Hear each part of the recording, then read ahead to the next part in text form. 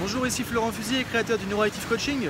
Alors dans cette petite vidéo, je vais te parler aujourd'hui d'un outil tout simple qui va te permettre d'améliorer ta performance, ton efficacité, de passer à l'action surtout, vraiment de passer à l'action plus facilement et de maintenir ton action dans le temps. C'est ce qu'on appelle la méthode des petits pas. Simplement, ça veut dire quoi? Bah, Ça veut dire que très souvent, quand on veut faire quelque chose, quand on a un projet, on a un objectif en tête, on a une activité qu'on veut reprendre, que ce soit personnel ou professionnel, on a tendance à voir trop grand, à voir trop gros. Et finalement, bah, on laisse tomber au bout de très peu de temps, ou on passe pas à l'action parce que ça nous fait peur, ou simplement on va laisser tomber euh, en cours de route. Donc l'idée de la méthode des petits pas, c'est quoi? C'est de regarder, bah, par exemple, si tu te dis, ça fait quelques temps que tu veux reprendre le tennis, tu vois les cours de tennis, bah, probablement tu t'es dit tiens je vais retourner trois fois par semaine euh, faire du tennis euh, avec euh, telle personne, tel partenaire, etc. Et tu te rends compte que trois fois par semaine bah, ça fait beaucoup, c'est pas possible. Donc tu commences à y aller une fois, tu as l'impression que finalement bah, tu as loupé deux fois alors parce que tu voulais y aller trois fois et tu commences à te dire que c'est pas possible et souvent que c'est comme s'il y avait un mur qui va passer en face, ça paraît insurmontable, ça paraît trop, ça paraît trop compliqué. Donc l'idée c'est justement de découper en petits morceaux. Ce qu'on dit en PNL, c'est qu'on peut manger un éléphant la petite cuillère. Alors ça veut dire quoi? Ça veut dire que si tu veux manger tout l'éléphant tout de suite, bah c'est pas possible. Et souvent on a tendance à faire ça pour nos projets personnels, nos projets professionnels, on voit tout de suite grand et on veut faire des actions qui sont déjà démesurées. Ou alors une suite d'actions, c'est-à-dire on se dit par exemple je reprends le sport demain, la semaine prochaine je m'y remets et à ce moment-là je vais euh, courir euh, tous les trois jours ou euh, je vais courir tous les jours ou je vais faire de l'exercice tous les matins, etc. Et on se rend compte que finalement bah, ça marche pas. Ça marche pas pourquoi? Parce que simplement c'est pas tenable sur la durée, c'est trop compliqué et c'est des actions qui vont engager trop de, trop de choses. Et tu vas pas pouvoir les tenir et souvent tu vas même pas t'engager dans l'action parce que simplement c'est quelque chose qui va être euh, ingérable. Donc l'idée des petits pas c'est quoi?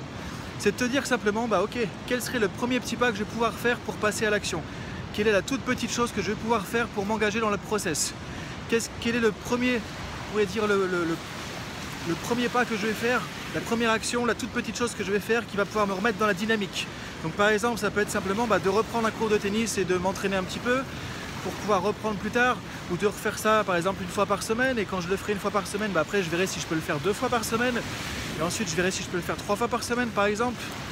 Ou ça peut être par exemple, je me dis tiens, je suis, euh, indépendant ou je suis commercial, j'ai 50 euh, clients à prospecter et je me dis tiens, la semaine prochaine, ça y est, je rappelle tous les clients, 50 clients.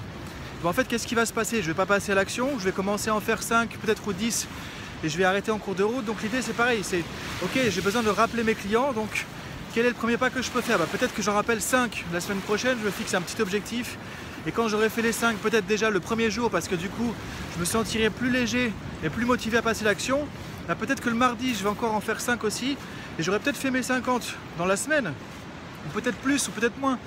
En tout cas, je serai passé à l'action beaucoup plus facilement parce que ça me paraît plus léger. Donc ce que je vous invite à faire, ce que je t'invite à, à faire maintenant par rapport à tes objectifs, par rapport à des actions, des activités que tu veux reprendre, c'est de regarder comment tu peux découper plus petit justement au niveau des actions et faire des petits pas. Il vaut mieux faire des petits pas réguliers que imaginer des actions qui vont être très compliquées, qui vont être plus lourdes, qui vont être plus longues et tu ne pourras pas tenir sur la durée ou engager dans le temps ou qui vont te paraître insurmontables, ce qui fait que bah, tu vas faire ce qu'on appelle la procrastination, c'est-à-dire que tu vas reporter, tu vas reporter, tu vas reporter.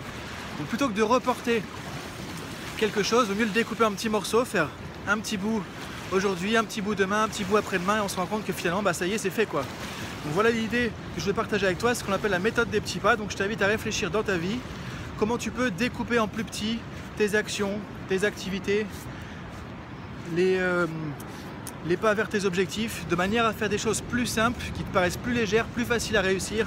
Et tu vas voir que l'action appelle l'action. C'est-à-dire qu'une fois que tu seras passé à l'action parce que ça paraît plus facile, il y a plein de choses qui vont changer derrière. Tu pourras peut-être faire même plus de choses que ce que tu aurais pu prévoir en imaginant refaire tout tout de suite. Voilà, par exemple, euh, aller faire du sport 4 fois par semaine, etc. Les gros objectifs qu'on se fixe tout le temps et qu'on tient jamais.